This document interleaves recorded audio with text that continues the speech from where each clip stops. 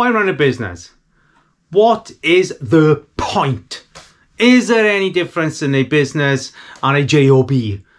I mean, wow, this country is in, I'm going to say, turmoil right now. In is it worth running a business? Should you be doing your own thing? Is a job, does a job have security and all these things? But here's what we're going to do is I'm going to do a deep dive into the UK business state. Deep dive into what is your job security state. Join me on my four month tour. Yes, I'm going to be traveling for four months in my bongo. This is not a van life documentary. I promise you that. What this is, this is going to be a reality check, an exposure of the state of UK business in this current climate. I'm going to bring to you what is the reality to what success looks like. I'm going to bring to you the reality of what running a business looks like and the reality in whether a job has more security than a business these days. We're going to meet the business owners that are basically on less than minimum rate. We're going to meet the business owners that are saturated financially and have more money than they can use. We're going to touch both ends of the scale and bring to you in this documentary in these next four months what it takes, whether it's a good thing, whether it's a successful thing to run a business. You're going to get to experience all those individuals that have made it through COVID, all those that didn't make it through COVID, all those that wish they'd given their business up in COVID and taking out the job, all those who wish they didn't have a job and run a business instead. We're going to meet them all. We're going to bring them here. In the meantime, I'm also going to be sharing with you how to monetize your YouTube channel. The pros, the benefits, the whys, how to make money on your YouTube channel. We're going to share that also. I'm going to share that journey with you. I'm a YouTube manager. Hmm. I guess I need to ask my wife if she'll let me go on a four month tour in my bongo. Okay, so I'm guessing there's a reality to all this, and one is I have absolutely no idea how to do professional footage. I mean, I've got a ton load of cameras and stuff, but you know what? Now I'm having to learn how to do B shots and all these kinds of things over the next couple of months. So bear with me and you'll see my footage improve, I'm sure. But here's just a little walkout because I want to show you basically what I'm going to spend my four months in. Yeah, so let me just take it. And you know, I think I would have to do that, I guess. Yeah, something like that. Never really done anything. So anyway, let me just take you in and uh, show where I'm going to spend my four months. Happy days.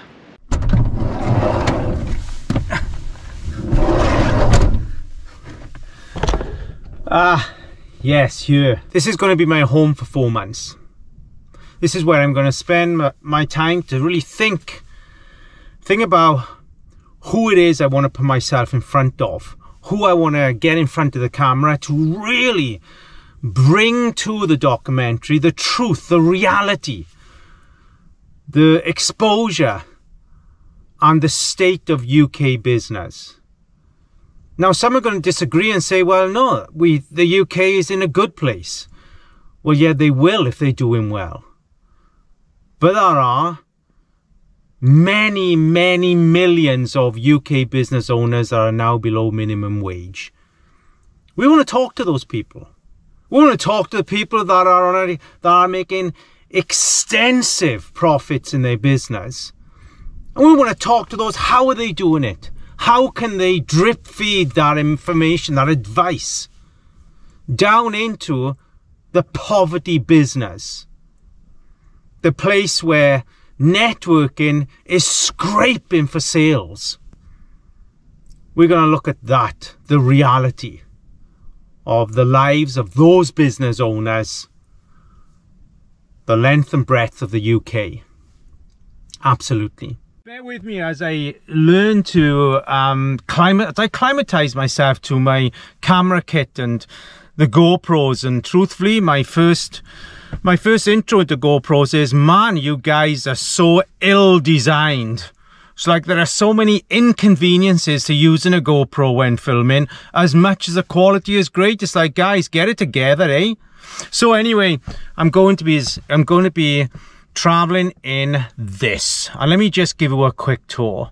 So I'm going to spin the camera around again. Poor, poor production, but hey, bear with me as this. So I spin around and, you know, so just uh, just regular carbon a bongo, I guess. My seat has been accustomed to be turned around. And this year, um, my screen fits on here, um, which basically I'll be doing all my work from this year.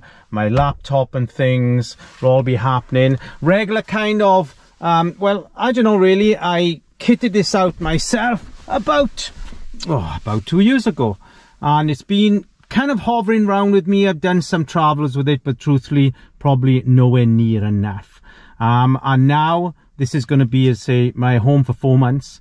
Um, you know, let me just spin around this way if I can and get, here we are, the all important. So my bed. So I, I do have um, a pop-up roof, but I decided not to use it as my bed because it can get chilled. And also, I only raise it really to create um, what is headroom for me. You know, everything else is here on my water storage. I don't want to make this a van life thing, but in there is all my storage and stuff. All important fridge, this, my gas cooker, my little sink in there. I have cold water, this hall. And my bed, um, this extends out. She's she's a spring spring bed. Um, I made it myself so she's really cool. And of course the all important here we are toilet! Um, yes every cave has got to have a toilet in one way or another a little close to my bed but hey that's the only place I could fit it in. Yeah absolutely. Um, all storage space there. And basically guys that's me. That's home. I shall be leaving in about two to three weeks.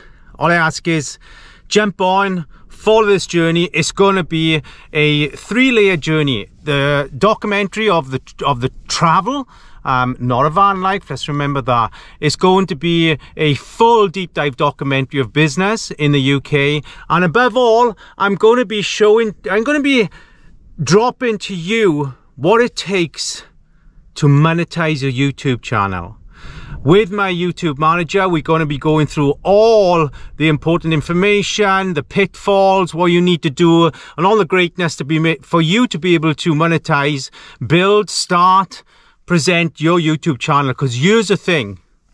The prediction now is that if you don't have a YouTube channel or a podcast channel up in place and established within the next three to five years, you're going to struggle as an SME business. Boom! There it is in your face. So follow me. I'll help you with all that you'll need in order to monetize, create, build, maximize your presence on YouTube. Happy days. Okay, so what's first? Well, the first thing for me is I know I'm going to need a suit. Um, well, I don't have to, but I want to take one suit that is going to be the prime suit that I wear for some of the interviews that I do with the business people that I meet. Now, it's not going to be sort of practical for everybody, but I do want to take one suit. But here's the thing.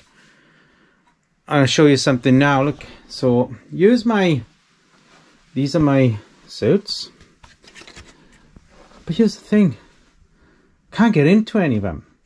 I'm probably about, um, I'm probably about um, three quarters stone. Now it's probably cheaper to lose weight. And I have been, you know, I've been back on my bike, back out doing things, but there's still there's still about two inches for me to get into those trousers. So I reached out to a mate, Tom Bennett, probably one of the finest tailors in our country. I mean, the history that his family has um, in making some of the most unique suits by some of the most A-list celebrities is amazing. So I reached out to Tom. I said, can we do an exchange? You know what? I am going to lose the weight, but I can't do it quick enough. And he said, what do you want? And I said, want something funky, something sort of full on out there. And he said, do you know what? He said, I got some material lying about. He said, pay for my material. He said, and my labour's free. I'm like, wow. Mm. I'm going there this Friday. So that's my first stop is to get my suit made and um, not to, you know, push out there, but this man, his suits are like 10k a piece. How generous is that, eh? Whoa! So yeah, I'm going to shoot off this Friday down to Tom Bennett's in Bristol and let you know I get on. Actually, I'm going to film some of it because you need to meet him. He's such a beautiful person. Absolutely. So that's my first stop. Plus, I've got to order a lot of kit. I've, I've got some security cameras for my van. It's a bongo. It's easy to get into. Do you know what I mean? And also some security cameras for outside. So when I am parked in those scary places, I'm not scared. Because I'm one of those, you know, I get kind of all nervous when it comes to being in the night in the van on my own. So I get kind of all nervous, do you know what I mean? I do in the nights. So I've got all these security cameras are going to fit in and all that kind of jazz and all that kind of stuff. Still am not stabbed though, yeah. Hmm. I think I can do something special to kind of bring it in slowly to the idea. Do you know what I mean? Yeah. Yeah. Well, anyway, we'll catch up on the weekend. I'm going to um, just run through what I've been doing to the van and get all my kit. I'm like, I kind of, let me just do this. It's kind of all there. Um, there's loads of stuff going on. Yeah, I mean, gotta get all this stuff sorted and ready to go. Look, oh my, my cycling shorts, man. You don't want them on there, Paul. And of course, I have all this kit here to sort. So there's a lot of stuff going on, and I somehow we've got it because I've got a, a pile of um, yeah, got a pile of light in. Let me show you if I can. Squeeze that in.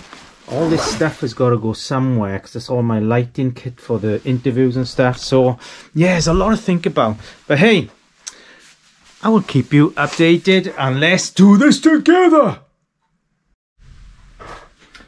Take 1154 just to do four clips of video. It's crazy. Um, and you know what? I didn't realize until I started filming that I have a double chin. Mm.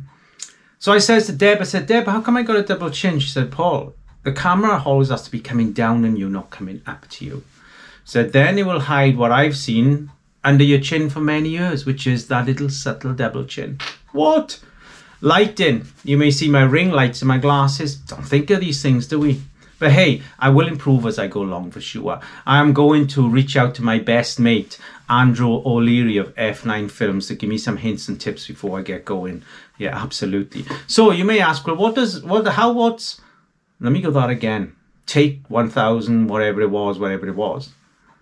What makes Paul Rees qualified to be able to travel the length and breadth of the UK and interview some of the greatest and some of the um, more struggling business owners and get from them, reach into them, and share with you the philosophies of of the UK business world right now? Well, a few things. One, I'm a professional deep dive interviewer.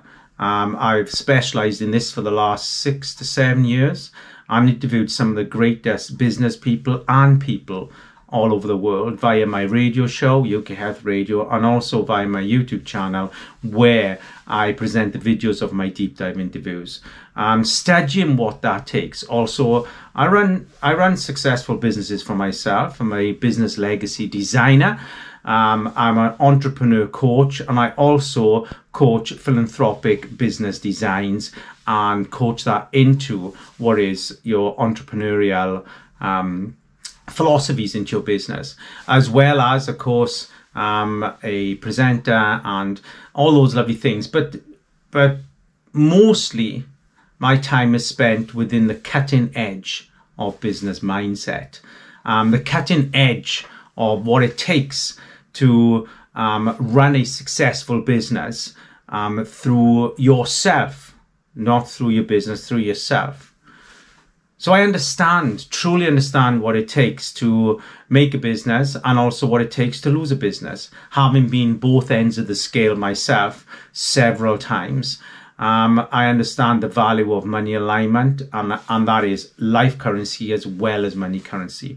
So all these things combine what is a, a library of thinking and a library of living, a library of being that um, make up for the whole shape of who I am, that kind of pulls together that one engine that really understands people in business. Um, and that's what I'll be using um, over the next four months. So, again, stick with me. Let's do this journey together. I'll need you there. I mean, bless, I leave my wife at home. I guess I do need to still ask her, eh? Yeah.